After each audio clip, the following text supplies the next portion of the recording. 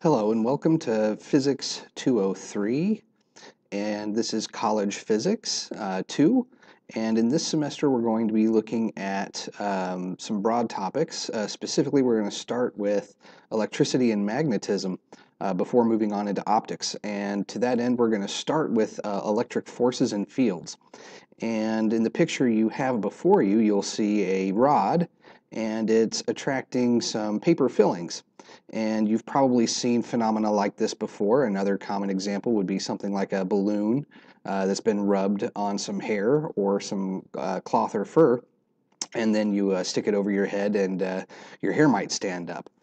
And this is akin to uh, something like this, where you have, um, you know, perhaps uh, somebody with longer hair um, and you'll see that the hair can be attracted to a variety of different objects. Uh, often the uh, plastics and rubber are uh, very good at collecting um, what we call static charge, right? And so this chapter is going to focus on um, the phenomena that occur as a result of static electricity, how static electricity is collected, what static electricity is in the first place, and what is this thing that we call charge. So let's start there for the moment. What are the properties of electric charges? Um, we didn't really have a sense of what electric charge was until uh, the 1700s, and one of the pioneers uh, who looked into the phenomena was uh, indeed uh, Benjamin Franklin, the inventor and statesman. And as a result of uh, his investigations and the investigations of others, it was determined that if you rub certain objects with certain substances, and hold those objects near other objects and substances, you would see weird things happen, like hair stand up or um, paper start to move across a desk and things of that nature. And through experimentation, they realized that sometimes uh, paper fillings would attract uh, to different objects. But then, if I took two of the same objects, say I took two uh, glass rods that I'd rubbed with wool, and both of these rods would attract paper fillings, they might repel each other. And that's the case that you see in the right picture there. Um, but then if I also have a different substance, say instead of a glass rod, I have a rubber rod that I've rubbed with some sort of substance, then that it might attract the glass rod. So we have different things that attract and different things that repel. And what the conclusion was is that there are two types of charge. And further, like charges repel and opposites attract. So if you have two things that are attracting, you can conclude that somehow they are charged and they're oppositely charged. And if they're repel, then they are um, uh, like charged. So that's a brief overview initially of what charge itself is, okay?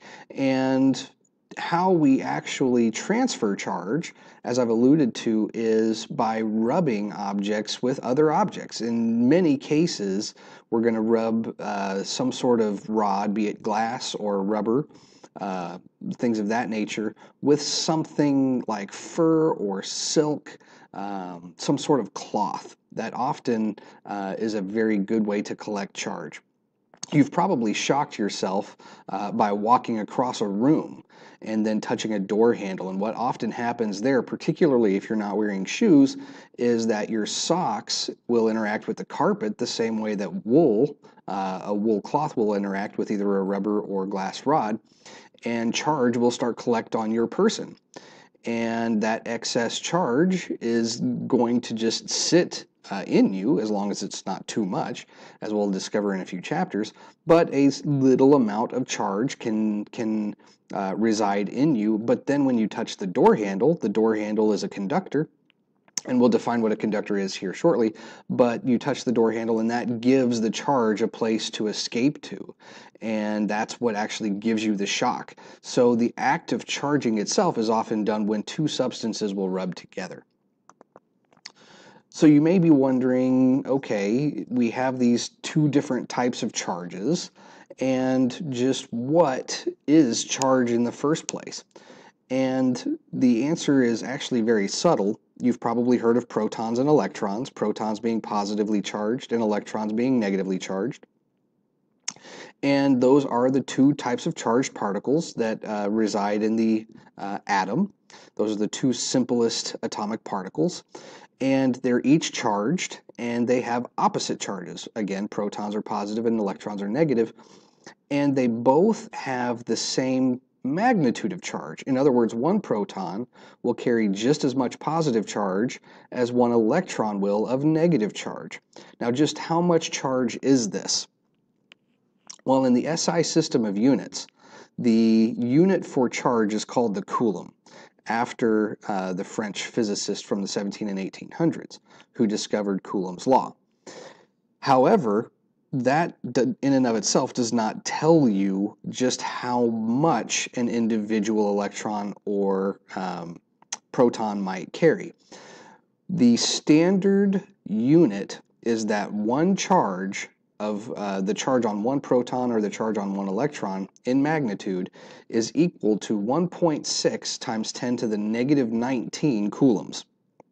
So what this means is if I have one coulomb of charge, then I have an enormous number of charges, an absolutely enormous number of charges. Okay.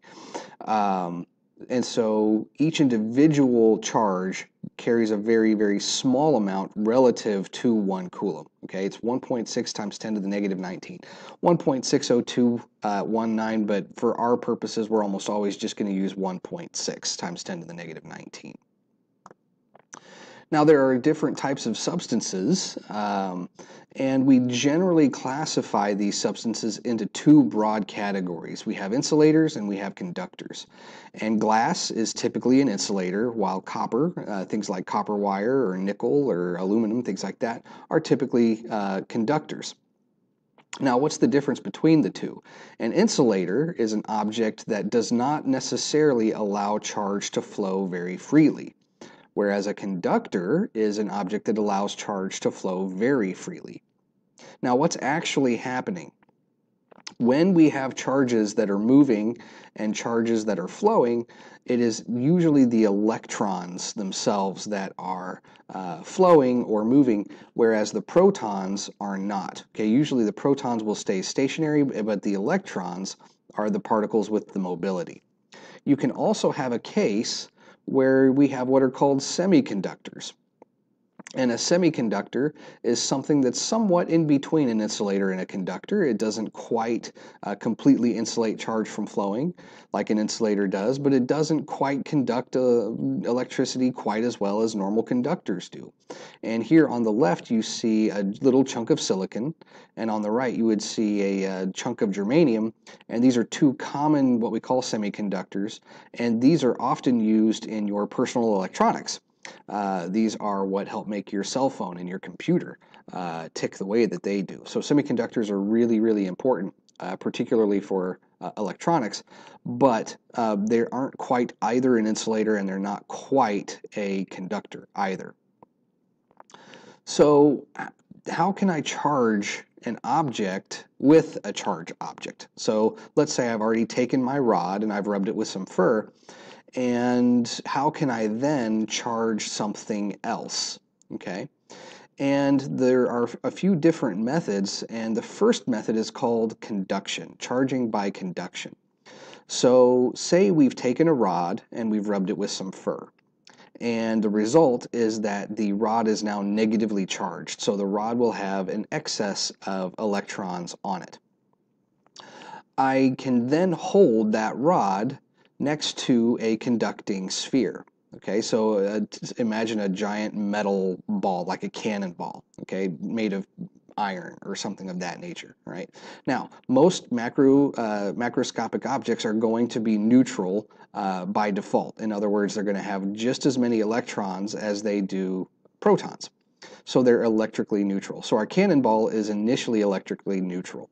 However, when I bring the rod close to the cannonball, the negative charges on the rod are going to repel the negative charges on the cannonball. And remember, it's the negative charges that can move around. And so the negative charges are going to collect on the opposite end of the ball uh, from the rod, leaving the um, end of the ball close to the rod with a net positive charge. And then if I bring the two objects in contact, because the ball is a conductor, the charge from the rod can flow onto the ball. And uh, because the closest point to the rod is a positive charge, is a collection of positive charges, then it will actually draw some charge of the uh, negative type off of the rod and onto the sphere. And so now, when I pull the rod away, both the rod and the sphere will be negatively charged. So this is one way that I can charge a, an object uh, through conduction. Again, a neutral object is going to have equal numbers of positive and negative charges, but the charges are going to redistribute themselves when I bring a charged object in the vicinity of my neutral object. And charging by induction, on the other hand, is when I don't necessarily bring the objects in contact with each other, like conduction, but now I'm going to do what's called grounding.